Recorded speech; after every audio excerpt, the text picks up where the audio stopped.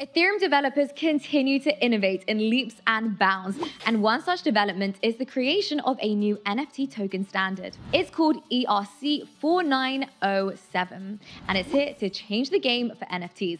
Let's dig in. First, a quick recap on Ethereum token standards. You've probably heard of ERC20, which is the dominant token standard in the Ethereum ecosystem. ERC20 coins are fungible tokens that include coins like Uni of Uniswap and Ape of Apecoin. The non fungible token for Ethereum is ERC721.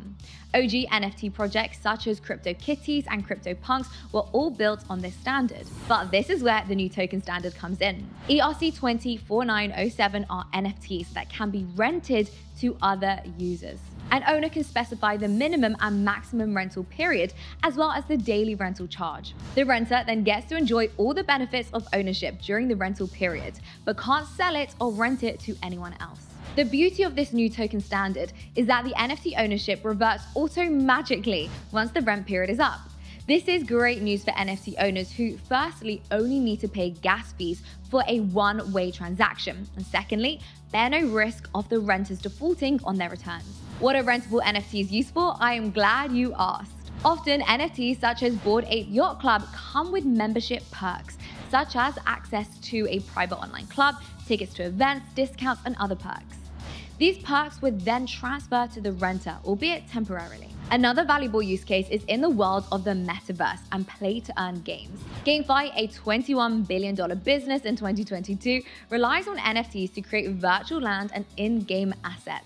Sometimes the cost to purchase the necessary assets makes the game inaccessible for the average crypto user. Rentable NFT assets provide a simpler solution by letting you rent a strong character to try the game out for a few days and offers NFT holders another source of passive income. Another strong potential use case is renting metaverse land. Imagine a promoter wanting to stage a virtual music festival in Decentraland.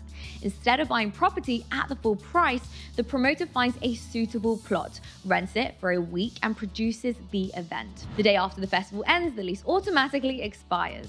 Add to this the rental of Ethereum name service domains. A fundraising project could rent an easy to remember subdomain like saveukraine.eth to collect funds for a small fraction of the purchase price and without the need to permanently purchase a domain.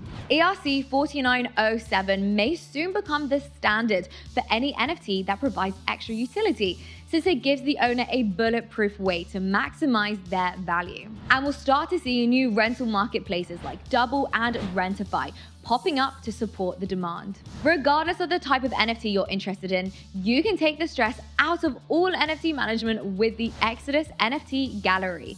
You can buy, store, and view your NFT from different chains. Easily connect to NFT marketplaces on mobile, desktop, and your web browser. Thanks for watching.